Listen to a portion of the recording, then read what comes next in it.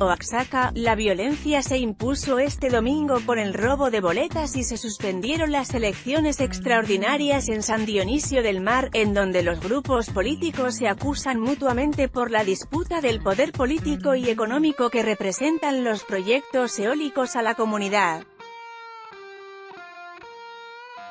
La víspera, la presidenta de la Junta de Coordinación Política, JUCOPO, de la 64 legislatura del Congreso del Estado, la morenista Laura Estrada Mauro, pidió al gobernador Alejandro Murat Hinojosa, ordenar la suspensión inmediata de las elecciones extraordinarias a celebrarse este domingo en San Dionisio del Mar, argumentando que no existían condiciones para el desarrollo de la jornada electoral.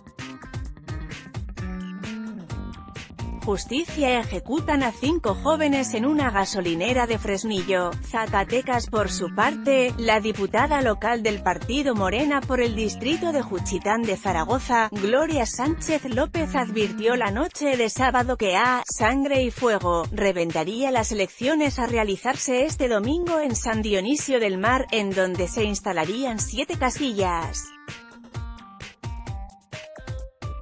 La legisladora y expresidenta municipal de Juchitán de Zaragoza, argumentó falta de condiciones de seguridad para que los 3,893 ciudadanos que integran el padrón electoral, acudieran a las urnas.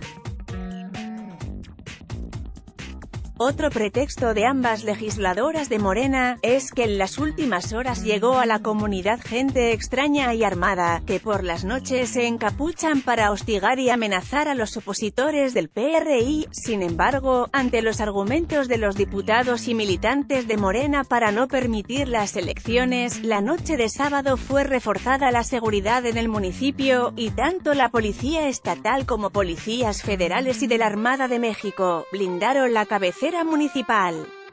Para echar abajo los argumentos de los militantes de Morena, la delegada especial del PRI, Marisela Sánchez, señaló que los morenistas recurren a todo tipo de argucias para no permitir que se lleve a cabo el proceso electoral extraordinario en San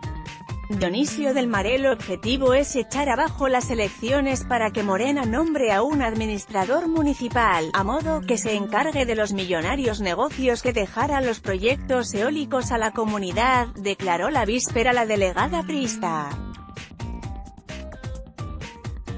Aseguró que militantes de Morena ya buscan al próximo administrador municipal, con la certeza de que, reventarán, las elecciones de este domingo para proponer a su candidato a la administración municipal. IEPCO presenta las denuncias correspondientes. El Instituto Estatal Electoral y de Participación Ciudadana de Oaxaca IEPCO confirmó que debido a diversos actos violentos no fue posible la instalación de las casillas en el municipio de San Dionisio del Mar para el desarrollo de la jornada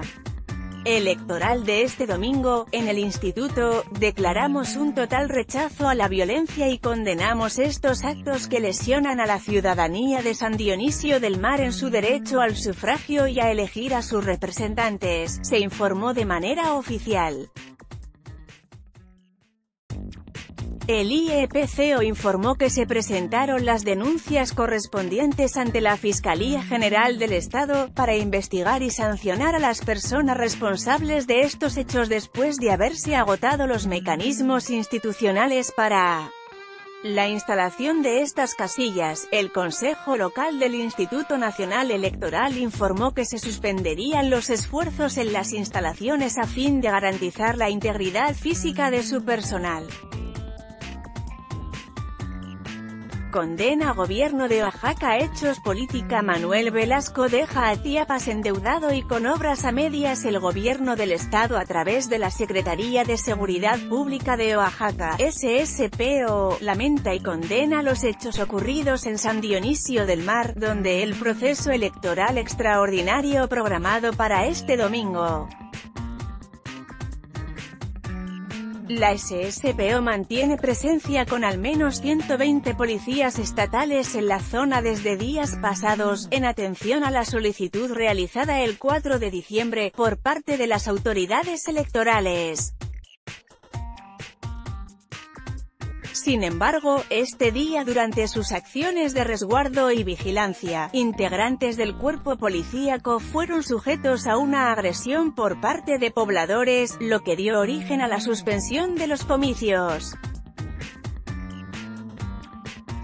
El secretario de Seguridad Pública, José Raimundo Tuñón Jauregui, se trasladó a la zona que se encuentra en tensa calma para atender directamente la situación.